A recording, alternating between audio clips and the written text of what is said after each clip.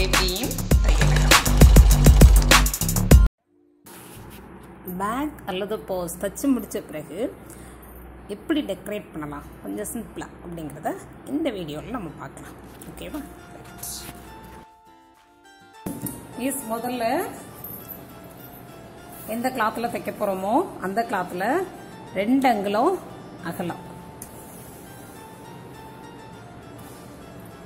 இருபது அங்குலம் நீளம் அளவுள்ள ரெண்டு பீஸ் எடுத்துக்கலாம். ரெண்டு பீஸ் கிளாத் எடுத்துக்கலாம்.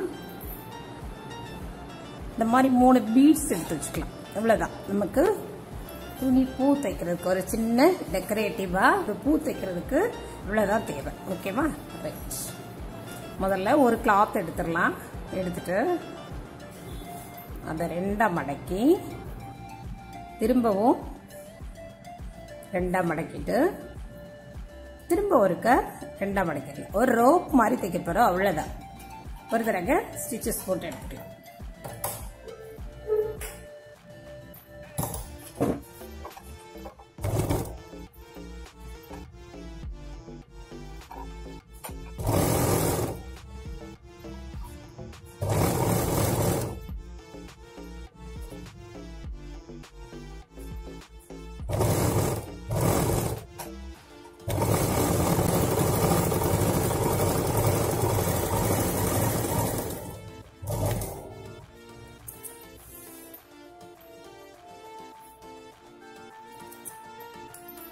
இந்த ரோப் இருக்கட்டும் இன்னொரு பீஸ் இருக்கு இல்லையா? அந்த பீஸ் எடுத்துக்கலாம். அதை ரெண்டாம் மடக்கிடலாம். நல்ல பாகம் மேலே இருக்கட்டும். ராங் சைடு உள்ள இருக்கு. ரெண்டாம் மடக்கிட்டு இந்த கார்னரில் மட்டும் ஒரு சின்னதாக மடிச்சு அடிச்சிடலாம் இந்த மாதிரி ஃபோல்ட் பண்ணி அடிச்சிடலாம்.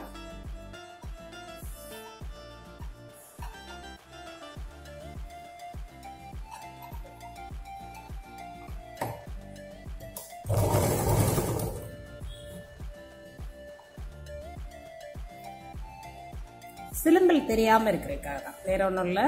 சிலும்பல் தெரியாமல் காணரை மடிச்சடிக்கிறோம்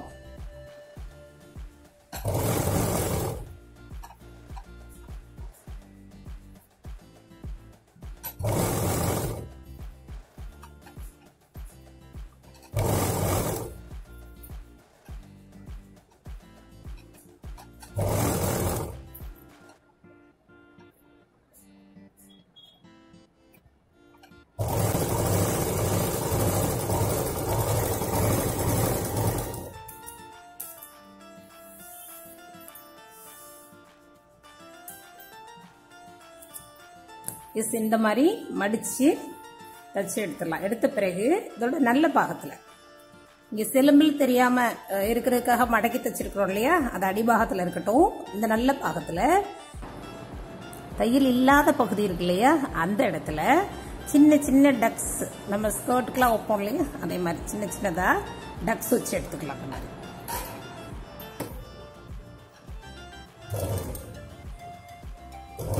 எவ்வளோ நெருக்கமாக வைக்க முடியுமோ அவ்வளோ நெருக்கமாக வச்சுக்கலாம்.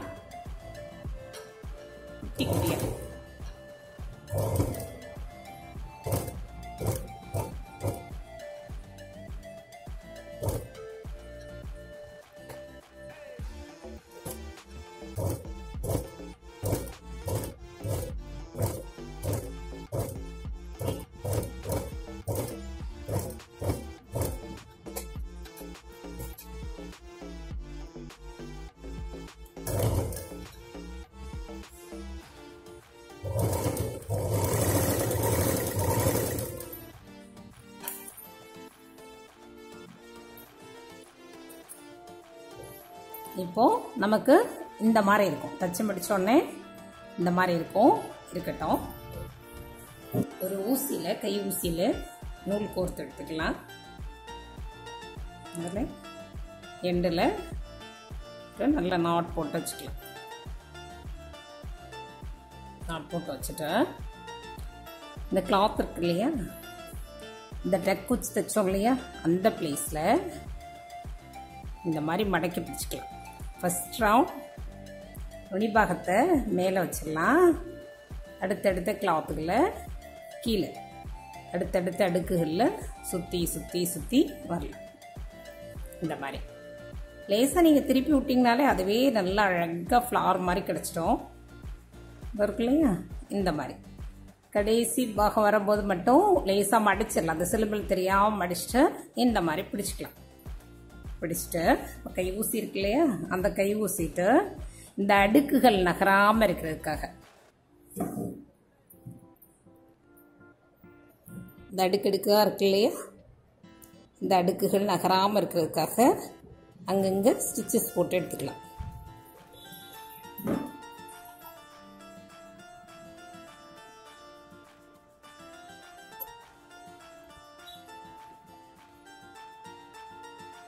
அந்த தையல் வந்து மூணு அடுக்குலையுமே படுற மாதிரி லேசாக தைச்சு எடுத்துக்கலாம்.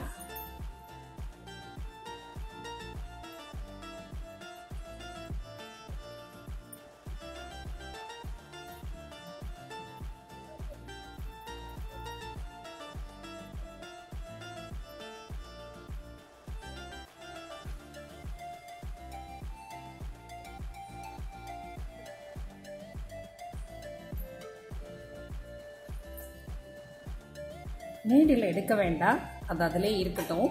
இப்போது இந்த ரோப் இருக்கு இல்லையா? இந்த ரோப்பை மூணு பாகமாக வச்சுட்டு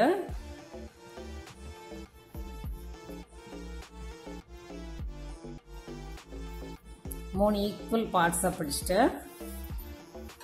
கட் பண்ணி எடுத்துக்கலாம்.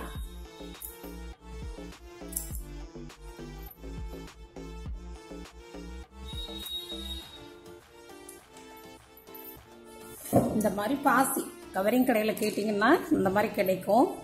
இந்த மாதிரி பாசி ஒரு நாலு பாசி எடுத்துக்கலாம். இது இதில் ஒரு பாசியை வந்து இந்த ஃப்ளாரில் நடுவில் வச்சு தைக்கிறதுக்காக யூஸ் பண்ணிக்கலாம்.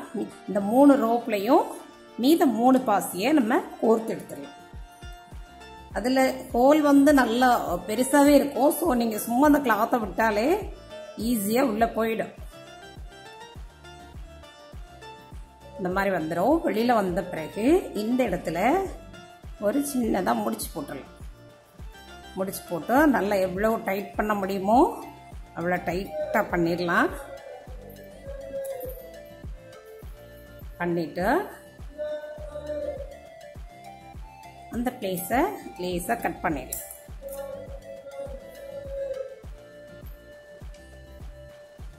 அதே மாதிரி மீதம் இருக்கிற ரெண்டு பாசியுமே ஒருத்தர் நாட் போட்டு எடுத்துக்கலாம்.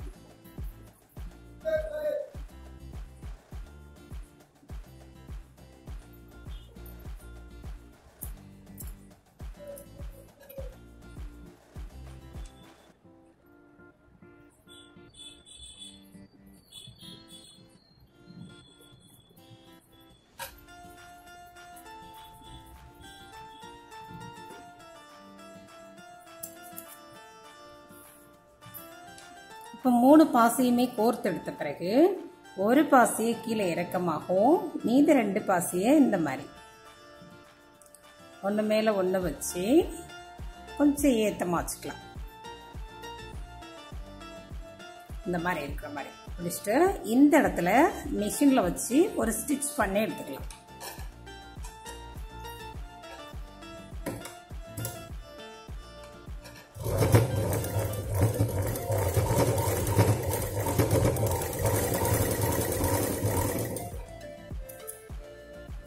பண்ணி எடுத்த பின்னாடி நம்ம ஏற்கனவே வச்சுருக்கோம் இல்லையா?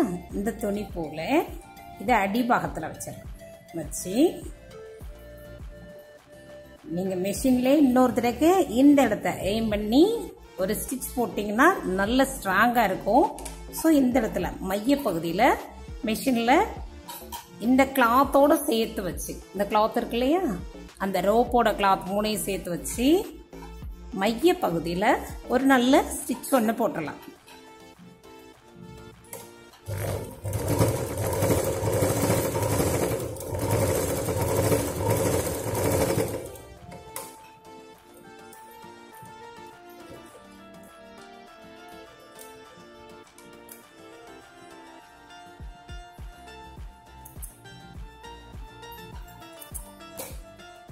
ஃபோட்டோ எடுத்த பின்னாடி மீதம் இருக்கு இல்லையா?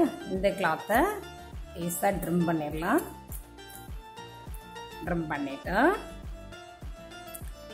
இந்த ஒரு பாசியை இந்த மையப்பகுதியில் வச்சு ஏற்கனவே நம்ம கை ஊசி வச்சுருக்கோம் இல்லையா அதில்? அதையே ஸ்டிச் பண்ணி எடுத்துக்கலாம்.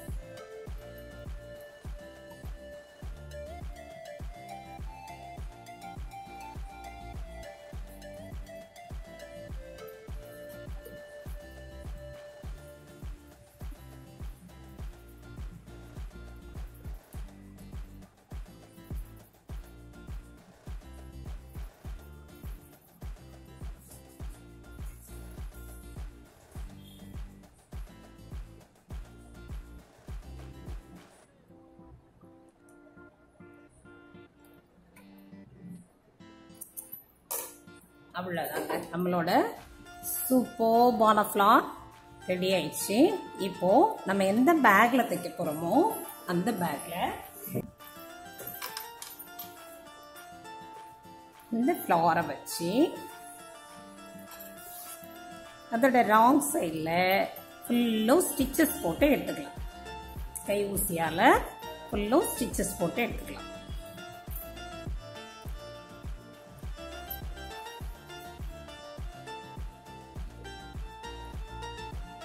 பொறுமையாக ஒரு ஒரு அடுக்குலையுமே ஸ்டிச்சஸ் போட்டு எடுத்துக்கலாம்.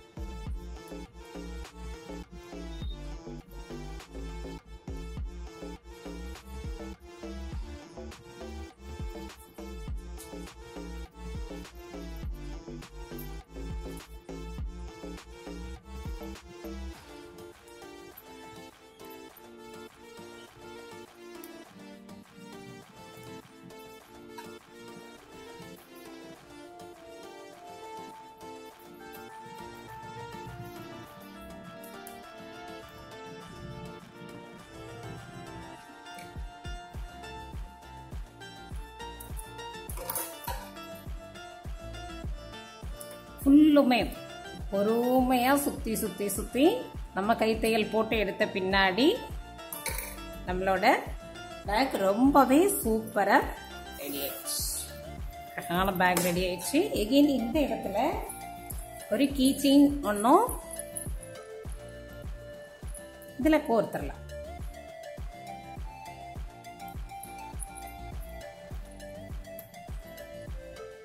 கொடுத்துட்டோம்னா ரொம்பவே அழகான பேக் ரெடி. மற்றும் ஒரு காணொலியில் சந்திப்போம். நன்றி.